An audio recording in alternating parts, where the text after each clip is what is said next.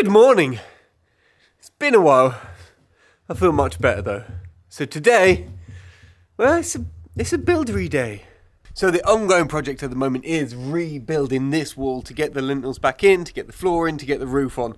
Of course, there's some other little bits I need to do as well today. Weirdly, I could only get this super bright orange sand from the builders, so that's why it might look a bit funny, but it shouldn't make any difference for this sort of thing. Anyway, let's get on with it. Hey, I'm up here.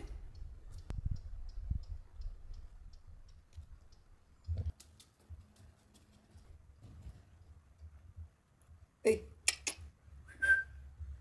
Hello, girls.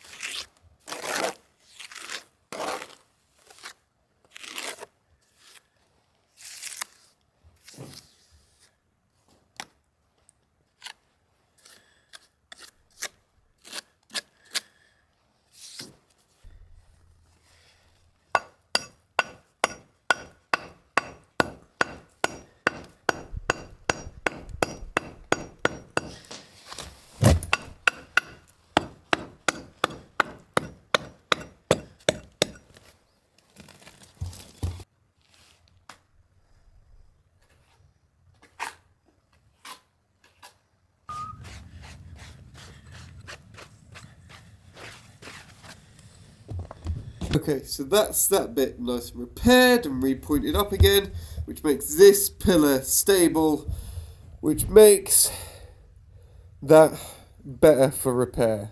Because the supports for that opening are coming in the next few days, and well, as you can see, it's a job I'd like to get ticked off pretty sooner rather than later.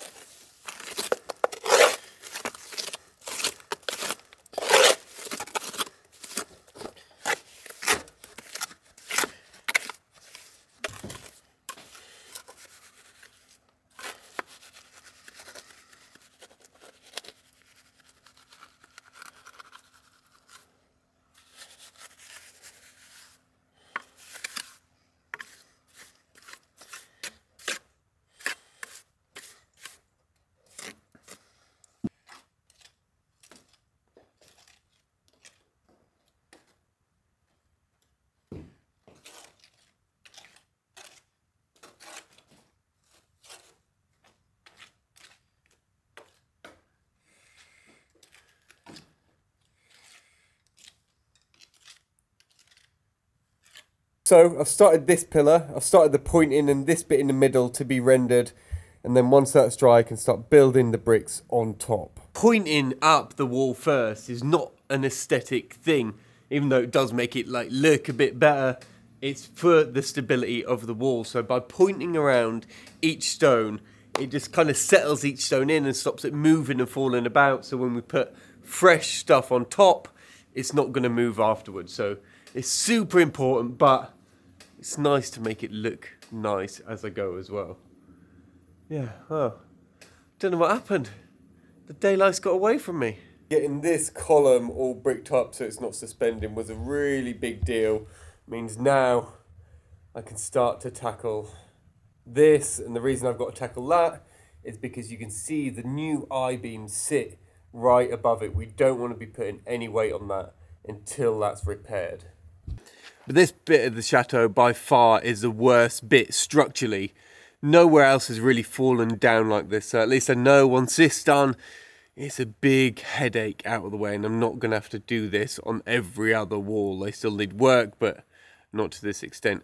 Big thank you to everyone that subscribed. We just hit 300,000 subscribers on the channel, which is absolutely massive. If you haven't subscribed, subscribe. It's free. Just press a button. It notifies you when you get a video.